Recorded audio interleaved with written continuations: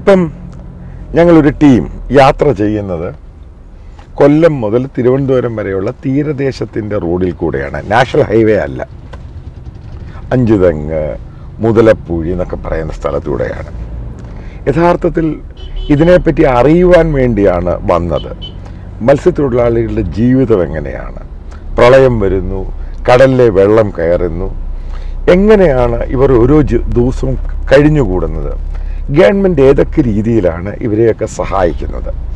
കണ്ടപ്പോൾ ഒരു അതിദാരുണമായ ഒരു സീൻ കണ്ടു. അതായത് ഏകദേശം ആയിരക്കണക്കിനോളം വീടുകളാണ് പ്രളയം വന്ന് പല ആവർത്തി എല്ലാവരും പറയും നാല് വർഷമായി അഞ്ച് വർഷമായി തകർന്ന് തരിപ്പണമായിട്ട് കിടക്കുന്നത്.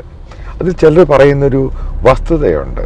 കടലിലെ വെള്ളം വരുന്നു ആ ജലം ഈ റോഡിൽ കൂടെ കയറിയിട്ട് അതായത് ഞങ്ങളിപ്പോൾ സഞ്ചരിക്കുന്ന ഈ റോഡിൽ കൂടെ കയറിയിട്ട് അപ്പുറത്തെ കായൽ വരെ പോകുന്ന പല സ്ഥലങ്ങളും ഉണ്ട് ഇവിടെ. അത് ഇറ്റ്സ് നമ്മളൊരു സിമ്പിളായിട്ട് പറയുമ്പോൾ കേരളത്തിന്റെ ഒരു ഭാഗത്ത് ജീവിക്കുന്നവർക്ക് അതായത് സിറ്റി സൈഡിലും മറ്റുള്ള ഭാഗങ്ങളിൽ ജീവിക്കുന്നവർക്ക് മത്സ്യത്തൊഴിലാളികൾ അതായത് തീരദേശത്ത് ജീവിക്കുന്നവരുടെ പ്രശ്നങ്ങൾ എന്താണെന്ന് യഥാർത്ഥത്തിൽ അറിയുകയില്ല. അതിലേക്കാണ് ഇന്ന് ഈ വീഡിയോയുടെ ഡിബേറ്റ് സ്റ്റാർട്ട് ചെയ്യുന്നത്.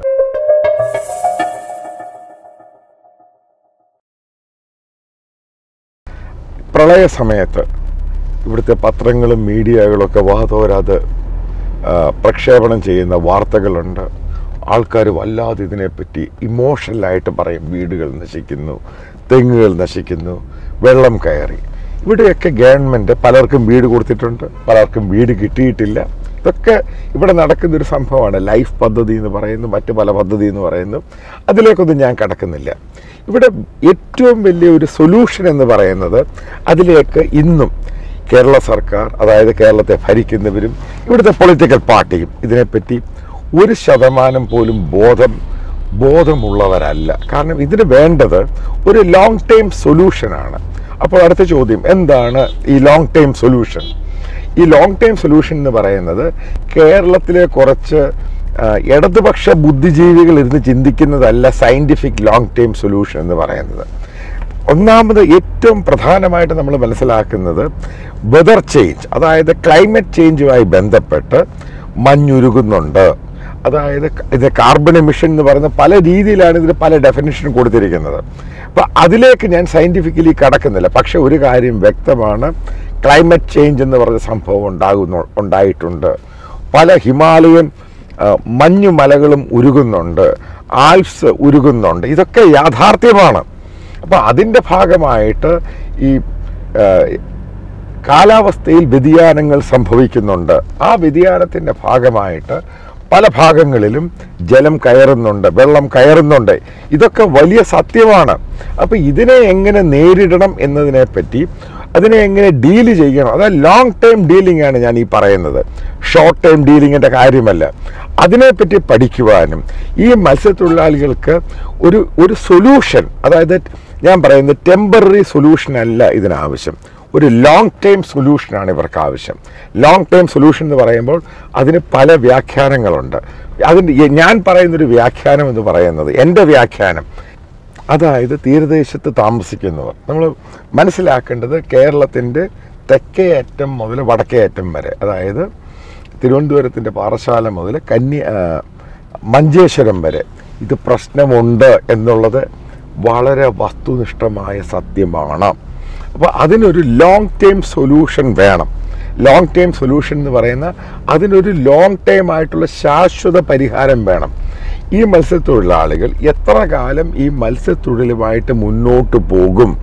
ഇവർക്കിത് ഈ പറയുന്ന ഈ തൊഴിലുമായിട്ട് കാരണം ഒരു വള്ളവും ഒരു വലയും വലയും മാത്രം ഇവർ ഈ പറയുന്ന പാരമ്പര്യ മത്സ്യത്തൊഴിലാളികൾ അത് എത്രമാത്രം പ്രായോഗികമായിട്ട് മുന്നോട്ട് പോകും? ഇതൊക്കെ ചോദ്യങ്ങളാണ്. അതായത് ലോകം ടെക്നോളജിയിലേക്ക് മാറുകയാണ്. ഇപ്പം എത്ര ശതമാനം ടെക്നോളജിയുമായി ബന്ധപ്പെട്ട് ഇവർക്ക് മത്സ്യബന്ധനം നടത്തുവാൻ സാധിക്കും? മറ്റൊരു കാര്യം എല്ലാവരും അറിഞ്ഞിരിക്കേണ്ട വസ്തുതയാണ് ഇപ്പോൾ ഈ അധികം മത്സ്യത്തൊഴിലാളികൾ വലിയൊരു ശതമാനം കന്യാകുമാരിയിൽ നിന്നും ബംഗാളിൽ നിന്നും മറ്റ് സംസ്ഥാനങ്ങളിൽ നിന്ന് വരുന്നവരാണ് തൊഴിലാളികളായിട്ട് ബോട്ടുകളിലും മറ്റും പോയിക്കൊണ്ടിരിക്കുന്നത്. അപ്പോൾ അവിടെ ഒരു മാറ്റം സംഭവിച്ചിട്ടുണ്ട്. ഇവിടെ നമ്മൾ അറിയേണ്ട ഒരു വസ്തുതയുണ്ട്. ഇന്ന് കേരളത്തിലുള്ള മത്സ്യ മത്സ്യത്തൊഴിലാളികൾ ആരും തന്നെയും അവരുടെ മക്കളെ ഈ തൊഴിലിലേക്ക് കൊണ്ടുവരാൻ താല്പര്യമില്ല. ഇവരുടെ ഡെയിലി ഇൻകം എന്ന് പറയുന്നത് നമ്മൾ ഉദ്ദേശിക്കുന്ന ഒന്ന് വളരെ മോശമാണ്. അതിൽ പല കാരണങ്ങളുണ്ട്. അപ്പോൾ ഇവിടെ ഒരു ഇവിടെ ഒരു എക്കണോമിക്കായിട്ടുള്ളൊരു ബൂസ്റ്റ് ചെയ്യാൻ എന്താണ് ഒരു വഴി? അപ്പം എന്റെ ഈ യാത്രയിൽ ഞാൻ മനസ്സിലാക്കിയത് കേരളത്തിന്റെ തീരദേശം എന്ന് പറയുന്നത് ലോകത്തിലെ തന്നെ ഏറ്റവും മനോഹരമായ സംഭവമാണ്. ചില ചില ചില സ്ഥലങ്ങളിലൊക്കെ കടലിലെ തിരയടിച്ച് റോഡിലോട്ട് കയറുന്നതും കായലുമായിട്ട് ഒരുമിക്കുന്നതും അതിമനോഹരമാണ്. എനിക്കറിയില്ല ലോകത്തിൽ ഇത്ര മനോഹരമായ കടലും കായലും കൂടെ ചേർന്ന് കിടക്കുന്ന അതേപോലെ ലഷ് ഗ്രീൻ ഇങ്ങനെ സ്ഥലം ലോകത്തുണ്ട് എന്ന് പോലും. അതായത് ഈ പൊട്ടൻഷ്യലായിട്ടുള്ള ഈ ടൂറിസം ഒരു വളരെ കൃത്യമായിട്ട് പറയാം. കേരളത്തിലെ പൊട്ടൻഷ്യൽ എന്ന് പറയുമ്പോൾ മനസ്സിലാക്കേണ്ടത് ഇവിടെ ഒന്നാമത് തെങ്ങും എല്ലാം ഇരിക്കുന്ന ലഷ് ഗ്രീൻ ഈ പറയുന്ന മത്സ്യത്തൊഴിലാളികളുടെ മക്കൾ അതായത് ഈ വരുന്ന ചെറുപ്പ ജനറേഷൻ ഇവർ എഡ്യൂക്കേറ്റഡും കൂടെയാണ്. അപ്പോൾ എങ്ങനെയാണ് ഓരോ വില്ലേജിലും ഓരോ റോഡിലും ഈ തീരദേശത്ത് കാണുന്ന ഓരോ വീടുകളും എങ്ങനെ ഹോം സ്റ്റേ ഉണ്ടാക്കുവാൻ സാധിക്കും?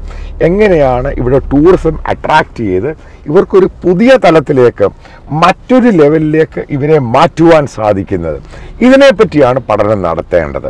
ഇതിൽ ഈ പറയുന്ന ഒരു ഭൂലോക ഗ്ലോബൽ ഇൻവെസ്റ്റ്മെന്റിന്റെ കാര്യമില്ല.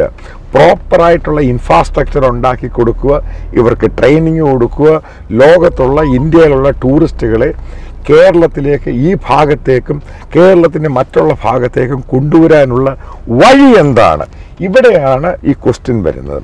അതിനാണ് ഉത്തരം കൊടുക്കേണ്ടത്. കാരണം വളരെ വ്യക്തമായിട്ട് പറയാം മത്സ്യത്തൊഴിലാളികളുടെ ജീവിതം അതായത് ഈ ഈ കോസ്റ്റൽ ബെൽറ്റിൽ താമ അവരുടെ ഓരോ ഈ ജീവിതം ഓരോ ദിവസം ടെൻഷനും റിസ്ക്കും നിറഞ്ഞതാണ്.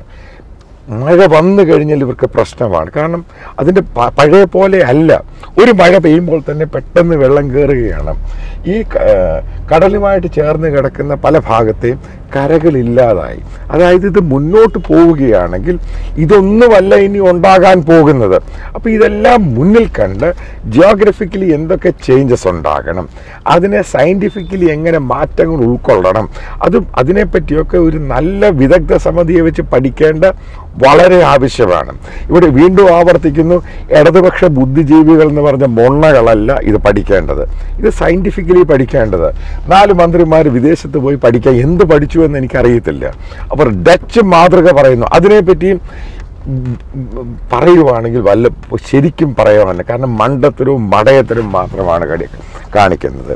ഈ പറയുന്ന ക്രൈസസിനെ ഇവരെങ്ങനെ ഡീൽ ചെയ്യുന്നു? അതിനെപ്പറ്റി ഇവർക്ക് യാതൊരു ധാരണയുമില്ല. പറ വീണ്ടും ആവർത്തിക്കുന്നത്. ഈ പുതിയ ജനറേഷനിൽ വരുന്ന മത്സ്യത്തൊഴിലാളികളുടെയും ഈ കടലിന്റെ ഭാഗത്ത് താമസിക്കുന്ന ചെറുപ്പക്കാരെയും ചെറുപ്പക്കാരികളെയും അവർക്കൊരു ഇൻകം എങ്ങനെ ജനറേറ്റ് ചെയ്യാൻ സാധിക്കും? അതായത് എല്ലാ മാസവും ഒരു ഇരുപത് മുതൽ ഇരുപത്തിയ്യായിരം രൂപ വരെ ഒരു കുടുംബത്തിന് അഡീഷണൽ ഇൻകം എങ്ങനെ ജനറേറ്റ് ചെയ്യാൻ സാധിക്കും ടൂറിസത്തിൽ കൂടെ. ഇതിനെപ്പറ്റിയാണ് പഠിക്കേണ്ടത്. ഇതിനാവശ്യമായ ട്രെയിനിങ് ആണ് ഇവർക്ക് കൊടുക്കേണ്ടത്. എങ്ങനെയാണ് കേരളം എന്ന് പറയുന്ന ഒരു ഡെസ്റ്റിനേഷൻ ലോകത്തിലെ ടൂർ ടൂറിസ്റ്റ് മാപ്പിൽ ഹോട്ടസ്റ്റ് ഡെസ്റ്റിനേഷനാക്കി മാറ്റുവാൻ സാധിക്കുന്നത്. ഇതൊക്കെയാണ് ഇന്ന് കേരളത്തിലെ മത്സ്യത്തൊഴിലാളികൾക്ക് ആവശ്യം. കാരണം അവന്റെ മത്സ്യത്തിന് വില കിട്ടും. അവന്റെ മത്സ്യം പല രീതിയിൽ അവർക്ക് കൊടുക്കുവാനും ടൂറിസ്റ്റുകൾക്ക് കൊടുക്കുമ്പം ഒരു ന്യായമായ വിലയും നല്ലൊരു വിലയും കിട്ടും. അത് അഴിഞ്ഞു പോകുന്നില്ല. കാരണം അതിനകത്ത് യൂസേഴ്സിന്റെ എണ്ണം കൂടുന്നു. ഇതൊക്കെയാണ് ഇവിടെ പറയുന്നത്. ഇന്ത്യയിൽ ഏറ്റവും കൂടുതൽ മത്സ്യം കഴിക്കുന്ന രണ്ട് സംസ്ഥാനക്കാരാണ് മലയാളികളും അതേപോലെ ബംഗാളികളും. കേരളത്തിന് ഏറ്റവും ഭാഗ്യം ചെന്ന സ്റ്റേറ്റാണ്. അറുന്നൂറ് കിലോമീറ്ററാണ് കേരളത്തിന്റെ കോസ്റ്റൽ ബെൽറ്റ് എന്ന് പറയുന്നത്. കേരളത്തിൽ അതിസമർത്ഥമായ കായലോരങ്ങളുണ്ട് പുഴകളുണ്ട്.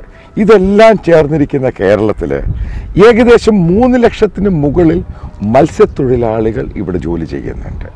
ഇനി അത് യഥാർത്ഥ കണക്ക് യഥാർത്ഥ രീതിയിലേക്ക് കടക്കാം. ഈ മൂന്ന് ലക്ഷം പേർ മത്സ്യത്തൊഴിലാളികൾ കേരളത്തിലെ സീസൺ സമയത്തും അല്ലാത്ത സമയത്തും ജോലി ചെയ്യുമ്പോൾ ഇവർ കൊണ്ടുവരുന്ന മത്സ്യം പല സമയങ്ങളിലും നമുക്ക് തികയാതെ വരുന്നു ഓഫ് സീസണിൽ. അപ്പോൾ എന്താണ് ചെയ്യുന്നത്? മറ്റുള്ള സംസ്ഥാനങ്ങളിൽ നിന്ന് അമോണിയം കലർത്തിയതും കെമിക്കൽ സംഭവമായ മത്സ്യങ്ങൾ കേരളത്തിലേക്ക് വരുന്നു. ഇനി സീസണിൽ കൂടുതൽ മത്സ്യങ്ങൾ ലഭിച്ചാൽ എന്തുണ്ടാകുന്നു? ഇത് പ്രോസസ്സ് ചെയ്യുവാനോ ഇത് സ്റ്റോർ ചെയ്യുവാനോ ആ ഒരു സാധനം നമുക്കില്ല അതായത് അൾട്ടിമേറ്റായിട്ട് പറയുവാണെങ്കിൽ എല്ലാ രീതിയിലും ഇതിന്റെ ഒരു ഒരു മാനേജ്മെന്റ് ഉണ്ട് സ്റ്റോർ മാനേജ്മെന്റ് പ്രോസസ് മാനേജ്മെന്റ് ഇത്രയും വർഷക്കാലമായിട്ട് നമുക്കൊന്നും ചെയ്യുവാൻ കഴിഞ്ഞിട്ടില്ല. ഇതിന്റെ ഏറ്റവും കൂടുതൽ അൾട്ടിമേറ്റായിട്ട് വിക്റ്റിം എന്ന് പറയുന്നത് ഈ പാവം പിടിച്ച മത്സ്യത്തൊഴിലാളികളാണ്. അതിനിന്നും അറുതി വന്നിട്ടില്ല. അതായത് ഇവിടെ മാറ്റം വരണ്ട വരേണ്ടത് എങ്ങനെയാണ് ഇത്രയും കുന്നുകൂടി വരുന്ന മത്സ്യത്തെ നമുക്ക് ഏത് രീതിയിൽ സംസ്കരിച്ച് ലോകത്തിന്റെ വിവിധ ഭാഗങ്ങളിൽ എത്തിക്കുവാനും അതിനെ പല രൂപത്തിലാക്കി മാറ്റുവാനും മത്സ്യത്തൊഴിലാളികൾക്ക് അതിന്റെ ഏകദേശം നല്ലൊരു വില കിട്ടുവാനും ഏതൊക്കെ രീതിയിലാണ് സർക്കാരിന് ചെയ്യുവാൻ സാധിക്കുന്നത്? ഇതിനെപ്പറ്റിയൊക്കെ പഠനം തന്നെ ആവശ്യമുണ്ട്.